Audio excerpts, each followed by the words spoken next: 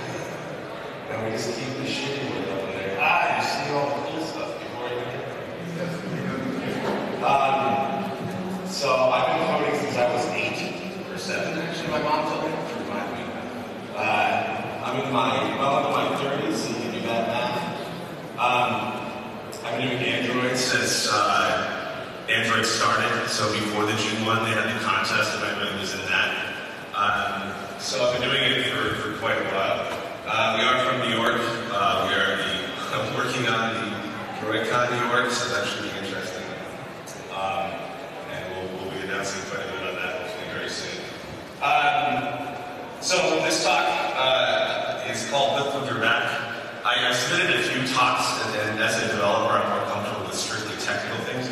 This was more of the somewhat technical, somewhat conceptual, and uh, I didn't think they were going to pick this one, but of course they did. So, um, here we go. I'm going to explain what with, with your back means first, very briefly, and then we'll get into the talk. So, uh, I'm in a band. Um, that's kind of my hobby.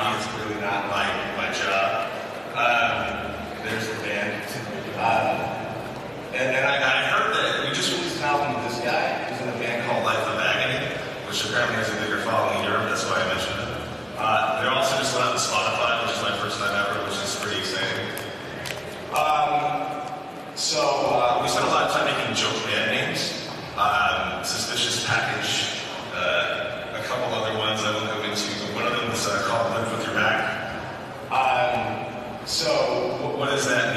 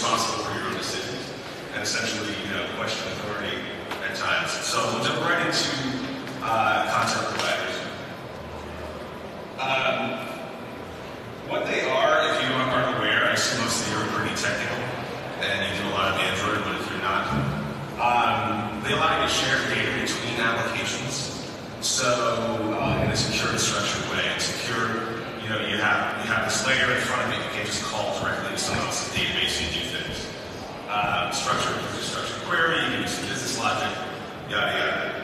Um, but for your own apps, is kind of where I think they, they go beyond what you should be what you should be doing. That's where I question things, right? Um, so if you're not calling between apps, another set of reasons to be using content providers. So I, have had a lot of discussions about this over the years, um, and I'm just cherry picking some, some reasons why people use content providers. These come from online discussions, in-person discussions. I've had arguments with Google engineers, um, and, and, this is a cherry picking. And, and obviously, this is a one-sided discussion. It's not the debate, so I can pick whatever arguments I want. Uh, database connection management. So, uh, you know, how do you keep problems with pollution and all that kind. Need a model abstract.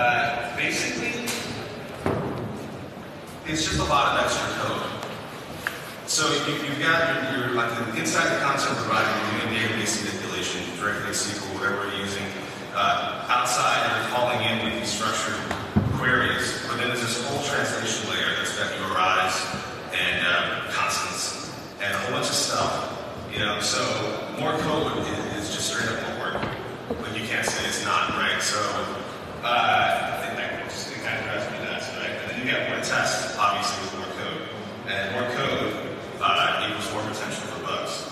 So that you know, I have an issue with obviously. And then you get a lot of what I call copy paste errors. So if you've ever seen like the definition file for a content provider, you have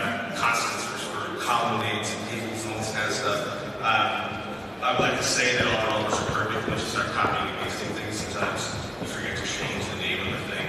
Um, and then just boredom, because boilerplate sucks, right? Uh, and boredom and boilerplate just equals bad. So another thing I don't like about them is the query language based on URLs is a surrogate language. So uh, for the past few years, there's been a lot of SQL bashing, but SQL stands for Structured Query Language, and that's exactly what it does. And even though SQL's like old and people like NoSQL or whatever, uh, it's one of the most finely tuned things in computers, and they work quite well uh, once you understand it. Uh, the URL format doesn't always translate well to what you're going to query. So if you're going to look for just a table based on an ID, that's not so bad. If you were building like a complex and or nested structured query builder, uh, URLs get kind of messy, and there's all kind of things you can sort of think about in there that if you just query with SQL, would be a lot easier. Um, and then there's sort of this extra design tra- and uh, training resistance. So you have to design these surrogate language queries, and that takes some time. And then you have to sort of train people like, this is how you use it. And it's just, it's weird. It's something I always was like, well, why can't I just call it Andes? It's drive me nuts. Um, refactoring sucks. So if you want to change some stuff, it's not as simple as just changing the query. You have to change the query, and then you have to change this middle layer, and you have to change the URLs. And they're all string-based, and it's all kind of a mess. Um, yeah, I just, I just kind of hate that stuff, right? It's all typeless, kind of. So, yeah, SQL queries are kind of typeless on their own. This is more of an argument for ORM, and I'll get into that in a minute, why I kind of like that, um, even in mobile. But now you have an extra layer of typelessness, and so you have your SQL that's sort of typeless, and then you've got your URLs that are all string-based. It's, you know, I, I like types that uh, if you're a Java programmer, you probably use to, unless you're doing some kind of weird Ruby to Java, whatever. Um, in a way, if you know, it's unintended usage. In a perfect world, in a perfect team, this wouldn't be true. But I've been doing this for a long, long time. And if you need to get something done, uh, let's say a common example is you have one call that gets a list of IDs of entities, and then you have other calls that we get the entities detail. And one day you need to get the list of IDs with the name of the entity, and you should create another query. But often what will happen is I'll just get the IDs and then they send separate calls. And it's only like five rows, who cares? And then you make some other change where you've got 5,000 rows. And then, you know, you can still catch that stuff. I'm not saying that content providers always cause this, but it certainly, it kind of promotes that, that activity sometimes. Um, okay, so I'm going to talk about the retorts to the benefits. Um, DB connection management. This I get online fairly often. Uh, you know, I had collisions with threads, and I put in the content provider, and that solved. And that's true, but uh, this is my single most dividend returning answer on, on Stack Overflow, which explains how to do that without blowing up your app. So there's me. Anyway, if you want to see it, you can just find it, type in Android SQLite best practices. It's right there. Um, data model abstraction. I only didn't include this one, but I've had multiple people say this to me. Uh, I, I don't think that you could not, you could do this just as easily with just doing a straight job. So it's kind of not real hard. Um, maybe a little straw man argument for me, you know, not representing it correctly. But there you go. Uh, installation from SQL. I've had this. This is not just Android and content providers. I've heard this in enterprise software and things like that. Junior developers, maybe they don't understand SQL. Um, my contention is if you don't understand SQL, you shouldn't be working with databases at all because eventually the calls go into SQL.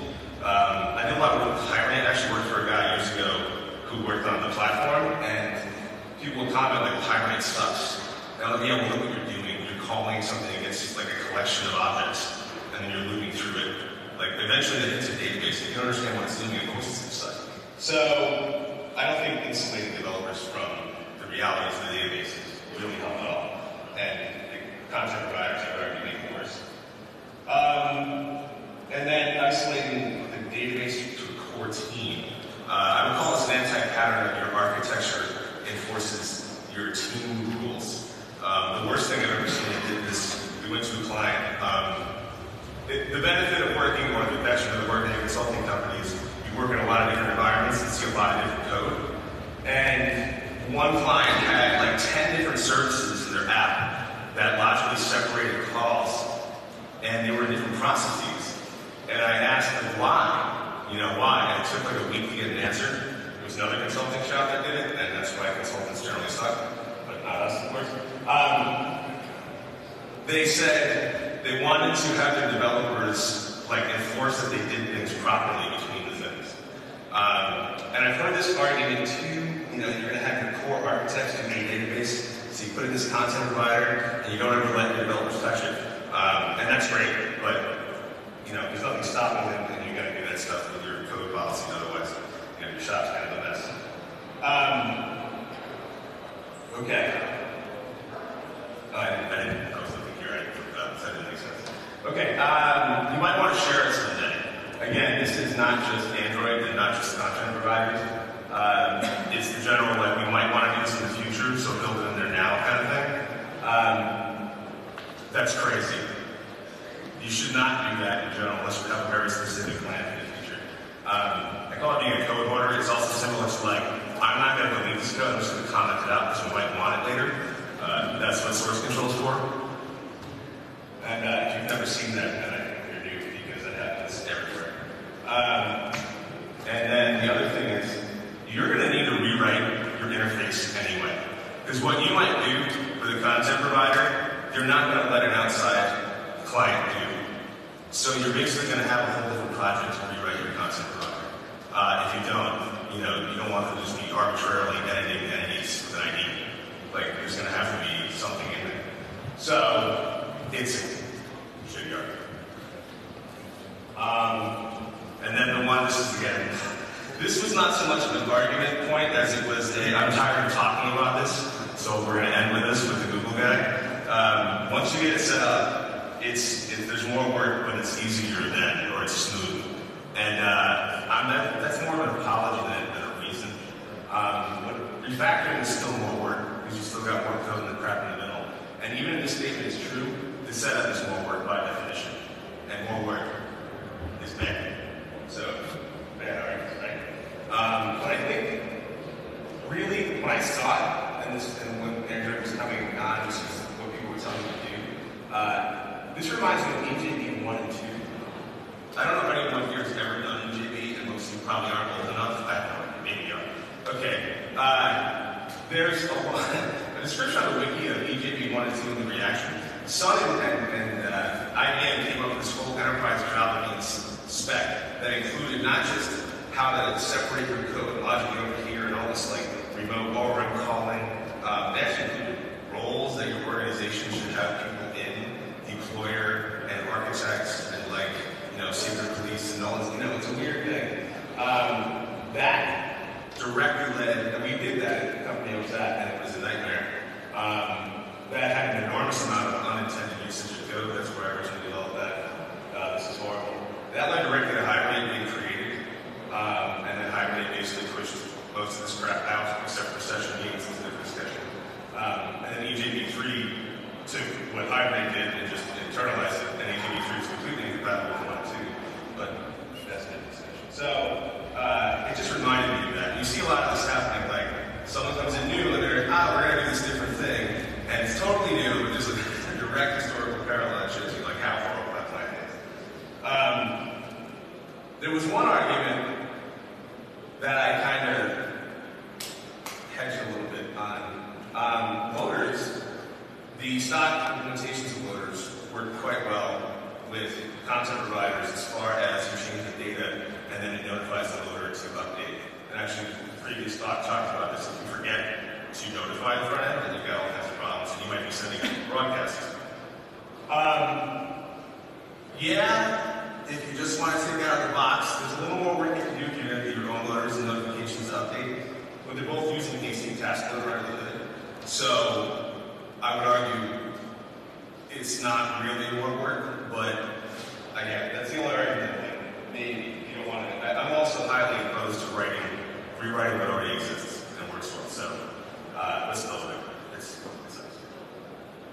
Okay, so this is where we leave the, the specific code and go into the best practices discussion. More to lift your back uh, limit of this. Uh, who decides the best practices? So uh, I'm going to tell you a little story about what I did and uh, the funny consequences of that. So um, Lite from Android. Uh, history, I did the original port of ORM Lite from what it was. Gray Watson did this thing that talked directly to JDBC, and there was really no viable ORM framework remotely in Android. This is like 2009, 2010.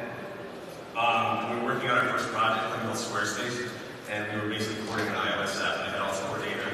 And I just, I haven't had to write boilerplate SQL code in a long, long time. So I kind of collaborated with Gray to say, can you abstract the calls with some interface and I'll implement the Android version of that interface. Um, so that worked out really well. Uh, you can you can argue the merits of using the ORM framework on a mobile device and performance, but catch me after. Like it has more to do with how to not absolute performance issues.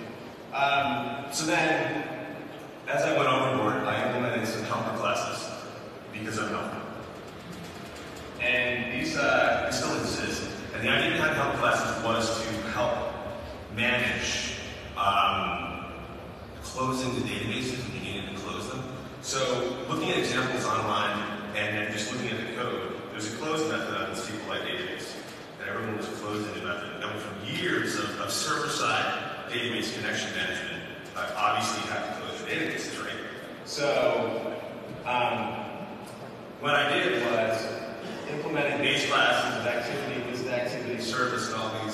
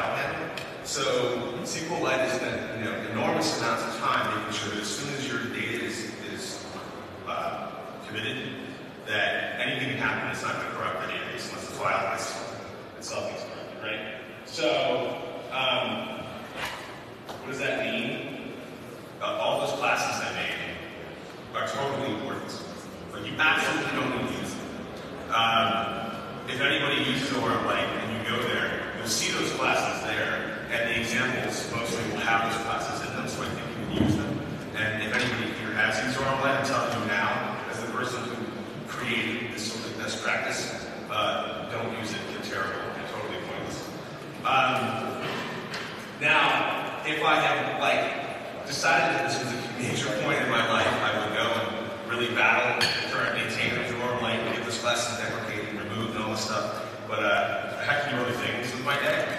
And it's really like not the end of the world if you use them, so they still exist. And I'm sure plenty of people do.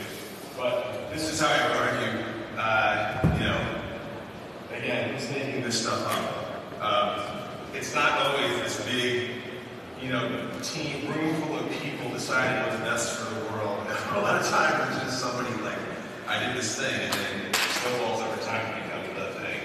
So uh, I think a lot of times the biggest mic wins. So in, in a global sense, that's like Google or Square says you should do something. You know, if Jake Wharton uses it, it must be great, regardless of what it is. Um, and don't get me wrong, he's right. But I still don't know when to use Otto, and I've tried multiple times. Um, and in, a corporate environment or team environment, it's like this architect person going to be like, nah, nah, it's all garbage, you gotta do this, even if it doesn't really make sense. Uh, a good friend of ours works at a company I can't mention, he just started there, and he's been working for years in Android, and then the server architect is just now telling him how to implement Android. And because he's not at that level, he's having a hard time arguing with him, even though what the guy's saying is like totally wrong. Um, but that's what it is. Uh, sometimes if it's there, it must be there for a reason. Go see my or on my code. Um, copy paste. So uh, the most obvious example of this is if you're implementing an app with a camera intent, um, you put camera permissions in your app, which you don't need to do. Um, because you're not embedding your camera, but that happens all the time. We've got dinged up that too. And I, I see it popping up even within our own team periodically, just because that's what people do. Um, and then I would call this last one cargo cult voodoo. Oh, I'm guessing here, not, not here. Apologies. That was a long flight. Um, cargo cult voodoo. Uh, I would define this as mimicking actions that you observe or trying weird things which seem to fix the problem without really understanding what the problem is. So if you're providers solely to prevent database collisions and thread problems, then you don't understand how to use them. Um, we had a client that I can't name also, uh, we wanted to fix their code base, and they were having problems with collisions in the database. So what they did was they made one database for every table in their original database, and had like 11 databases. And it appeared to work because it would crash less often. Uh, but that was, they got an F. They failed. Uh, so what do you this, this horrible, horrible, life-ending series of problems? Uh, the first thing is you settle down. Your app's probably going to work most of the time, even if you don't use the most optimal uh, best practice. You can use content providers and every day, and it'll probably work. I'm just talking about how to incrementally improve things. Um, but also, uh, good coders are curious. You know, even if you think something works, if it doesn't entirely make sense or it seems like a little bit too much work, uh, I think you should dig in and figure out why that is. Um, uh, and then just realize there's lots of members and codes out there, not just for coding, and occasionally you can call people out on that, and that's okay. And we, we had uh, a former team member who would regularly say Google uses it. That's why we use it back. That's great. Um, but that's, that's not okay.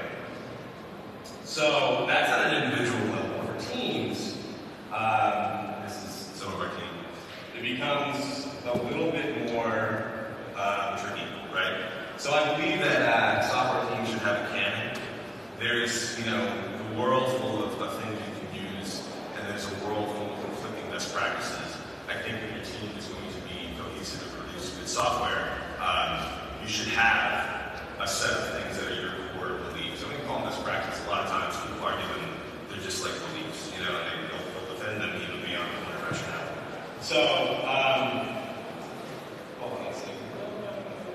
Um, yeah, so if you have a large team and like there's no set of like really best ways to do certain things, um, code reviews kind of become a nightmare because one person will say, yeah, this is great, and I'll look at it and be like, no, that's, that's not totally disagree with all that. Like, you shouldn't do that kind of stuff. Um, new team members uh, is really a nightmare because, you know, we actually have somebody starting on Monday, Mike, and um, Mike's been doing a lot of Android coding, and I guarantee you I would disagree with a bunch of this stuff. But we really don't have a very good, you know, here's the things we believe in as far as how you should build stuff. We currently are, in size we're all so it becomes just an oral discussion. We're having architecture things, and that's great when your team's like five, ten. Um, when you have 50 people in multiple locations, that's, it becomes totally unmanageable. Uh, even swapping team members between on a project, uh, it just, you know, it's awful. So you should have sort of at least something well defined as far as how you do things. I believe. So, um, how do these get built? Uh, I actually asked people in Spotify, uh, Spotify about how they do it. Some other, some other companies. Um, we also have the big Android here in New York, so we kind of talked to a lot of people. Um, a lot of times it's top down. It's like a senior manager just says, "Here's here's the world, and here's how we do things." Um, and they use a Schwiki, which is short for Shitty Wiki, sometimes for docs. If that, um, other times it's like a team hive mind. So you kind of have like an oral history where people just tell each other things, and then sometimes it propagates around the team, sometimes it doesn't. Where you have a R Schwiki, which is a abbreviation. Um, sorry. And uh, yeah, training new people sucks. I really am going to be. Um, I don't know what we're going to do with Mike exactly, other than sit next to him for a few months and make sure he kind of learns everything. But I, I, I can't help feel like there's a better way to do that stuff, right? So, um, yeah, and, and we're, we're oral history right now. That, that takes that takes a while. And also, uh, without a sort of set thing you should do, you, people often go on what I call the grand architectural odyssey, which is you start an app and you start doing things one way, and then someone says, nah, I don't want to do that, and you re-implement how you do it. And then they're like, nah, I don't want to do that, and you do it again. And you often, like, somebody else is already going down that path and uh, fail and come back. The ships come back and normally gone somewhere else. Um, I see this a lot, and you can avoid it, especially in Android, because Android the platform has changed so much over the past few years, and then there's an enormous amount of open source stuff. And then the history, like if you find an article from like 2010, you have to automatically kind of discount it and see what the hell people are talking about in 2013, 2014. So don't do this, it's bad. Um, so anyway, we have this thing that we're working on internally. Uh, I don't know when it's ever going to be released, but it's kind of the coalescing of what, how I think we can sort of manage these things. Uh, it's called Nugget for now, like a nugget of concepts, or whatever, misspelled, because hopefully to brand. I found a software, some software that's called Nuggets, whatever. Uh, it's basically an idea file. Um, it's not public, and we haven't fully done it internally, we're going to work on it. So, uh, it's a collection of ideas and conversations weighted by magic.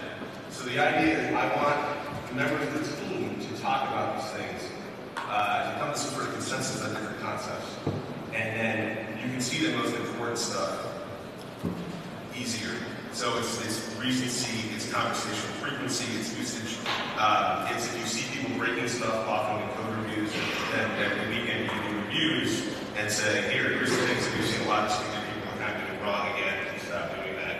Um, so it's the primary goals that they're to minimize resistance to collecting and communicating beliefs, right? So uh, usually I'm just going through code and I'm already like super late for something and I'll see something that someone did that is just not right. And if I'm if I'm really diligent, I'll open like a doc and I'll make a list and then I'll email them and we'll have a discussion and maybe I'll somehow collect that and share it with the team. And uh, I can tell you that that pretty much never happens. It's just like, ah, shit, I'll fix it, check it in, move on.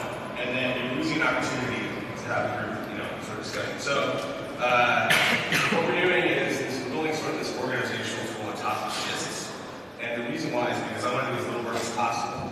Every IDE has a make gist thing, so you select some code, go there, and then just you're going to deal with it later. Right now, you keep doing what you're doing. Um, let's see. Uh, blah, blah, blah. We do tags on top of it, uh, some organizational stuff, um, stars, conversation,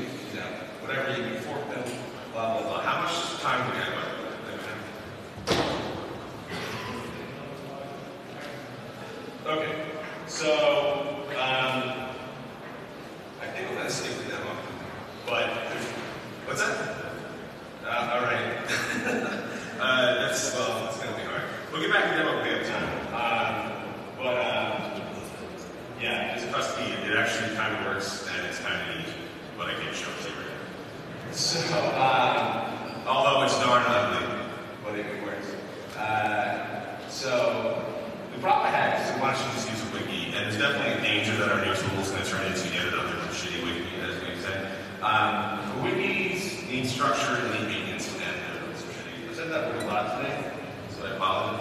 Um, so you have to create hierarchies, you have to like decide what's going to go in there, you have to write it, da. Uh, it's, a lot of resistance getting stuff in there, and usually for that. But We had Confluence for like two years, and we had a total of nine articles in it, and then I and nobody read them, so I just got rid of Confluence. Um, so I look at Wiki kind of like this. It's nice. You want to add new tools, you got to kind of reorganize everything. Um, you know, if you want to tell them that, hey, go look at the docs. Like, where do you start? On the left. You know, is this everything you use this often? It's a lot of uh, is there. If you want to remove stuff, like when you're new, I don't know. Um, it's a lot of work. And ironically, I think what we need is this. And that looks really awful. But the thing about a pile is it's self-organizing. New tools, and just throw them on there. Right? New stuff. What's the most useful stuff? It's on top. Right? You gotta delete old stuff? That's good. Who cares? Um, and you tell somebody new, like, yeah, just go, just go click around the top there for a while. You know, it's fine. Uh, and you don't have to go through the whole thing. They'll get the gist of what's going on. And they're not to do everything right, and that's okay. Doesn't matter. Um, and then, of course, it will have search too, that would suck again if I stuck them up. So, um, let's see. Currently, it uses GitHub login just to uh, manage words. The whole org and share them. There's something called GistBox, which was doing a tag in your own gist, and I had actually a talk with the guy who developed it about doing a team version. He released it, but I don't know if it's exactly what I was talking about, so I still review it. And I hope he built something that's exactly what we need, because then I can stop